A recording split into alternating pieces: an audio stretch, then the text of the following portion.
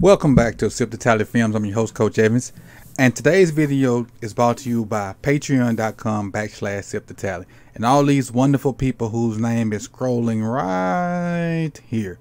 So thank you guys for supporting the channel and making videos like this possible. If you want to support the channel, go to patreon.com backslash sip2tally and join the Patreon.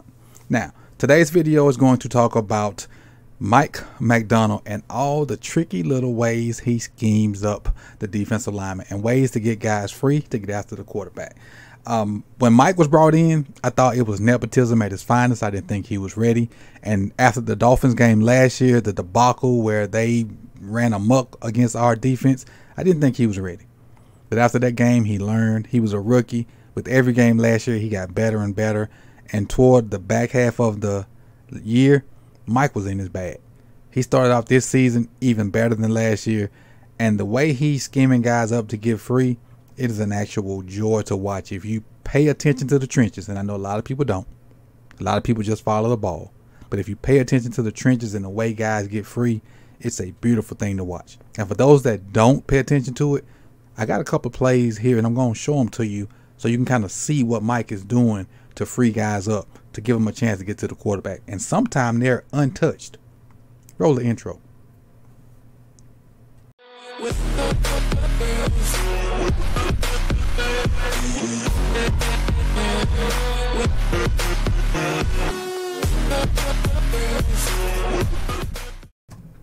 All right, let's start with this first play right here.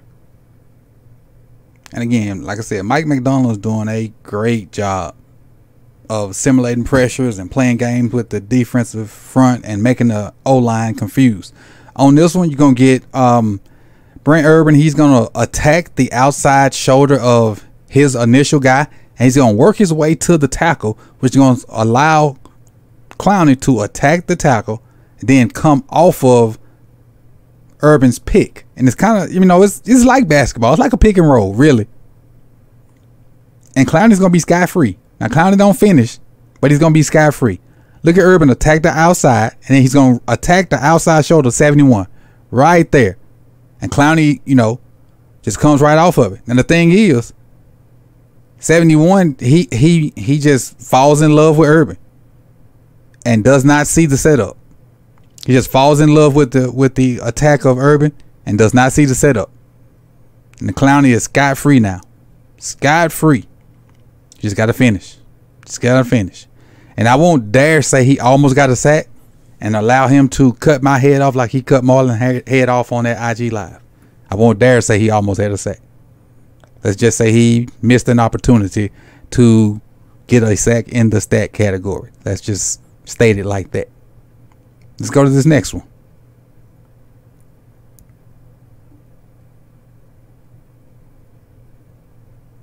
Again. Oh no, it's the same play. Same play, just a different view. I'm sorry. Same play, different view. Again, missed an opportunity to put a stat a sack in the stat category. Won't dare say he almost had a sack. Now this is the next one. And on this one, he's been doing a great job of just confusing O linemen. This one with Van Noy. Again, this is Van Noy's first uh, game, and he was a, he got in there and got some pressures and whatnot. Didn't get a sack, but contributed a lot more than somebody named that start with O. And you pick whoever you think I'm talking about. so on this one, Madubuike is going to go straight at 75. But while he's attacking the outside shoulder of 75, he's going to go through the inside shoulder of 71.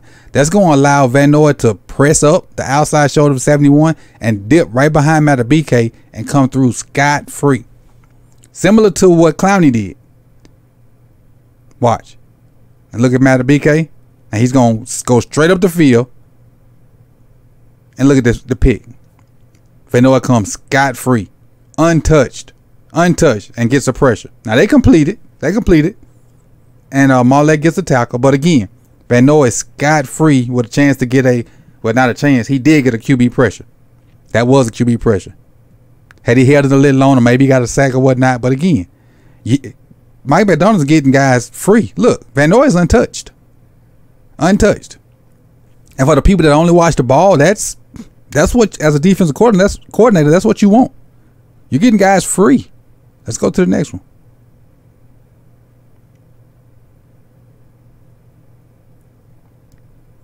On this one, it's going to look like it's empty set, so it's going to look like you're going to get an all-out blitz. You look like you're getting all gaps covered. You get Van with C gap, Queen shooting that B, that left B. Uh, Madubuike going to cross the face and shoot A that way. Uh, I think that's Michael Pierce going to have that right A. Roquan is stunting toward the right side B. And I think that's Clowney with the outside right C gap. That's what it looks like DTR is getting. But he's not. He's not getting that. They pump faking. They pump faking and confuse the O lineman because that's what it looks like uh, post snap too. But that's not what he getting. Michael Pierce gonna drop his big butt out of there, and I love when he drops out of there because he walls with intent. He walls with intent. Him and Roquan gonna drop out.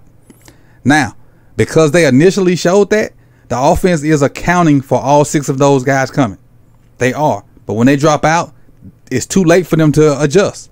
It's too late for them to adjust. And on this left side, they they didn't make an adjustment. So now on this left side, there's a two for one. And as a rule, number 75 right here, uh Dawand Jones is a rookie. As a rule, he has to take the innermost guy. And right here, the innermost guy is Pat Queen, which leaves Kyle Van Noy open, free. He's a free runner. And look who makes the play. He bats the ball down because of the confusion Mike Macdonald created with the simulated pressure. And we got one more play, which I think, which I love, which I think is the best one. Look at PQ. PQ sacrificing himself for Roquan, and it causes the incomplete pass. Let's look at it from our defensive end, uh, end zone to get a better look at it. PQ is going to attack 75. Roquan is going to be engaged. He's going to be engaged, and PQ is going to knock him off, and then Roquan is just going to come right up under PQ. The, now, see the back? The back actually has PQ. That's his responsibility. So the back shows up to block PQ. But PQ's responsibility is to take 75 away from Roquan. And Roquan's just going to go underneath it. Bam. Look at the perfect timing. And now, look at Roquan. A clear lane to the quarterback. A clear lane to the quarterback. And at this point, DTR is just getting rid of it. He's just praying it's not caught by somebody in white. Mike Macdonald is doing an amazing job.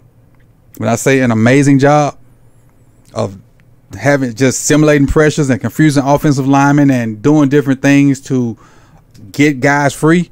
So again, last year he was a rookie, and with each passing game he got better. From that Miami game on, he did different things to get different guys in there. And even with the cornerbacks not being very good last year and having guys in and out of that lineup, and even this year, our defense hasn't haven't missed a beat. So salute to you, uh, Macdonald, for doing your thing and uh, keeping the defense rolling, and you know just giving offensive lines hell. So if you like this kind of content and you have not subscribed or have not liked the video, like the video. And if you have not subscribed again, hit the subscribe, hit the bell so you can be notified. And again, again, again, again, salute to the Patreons. I'm going to scroll these names over one of my shoulders again. They made this video possible.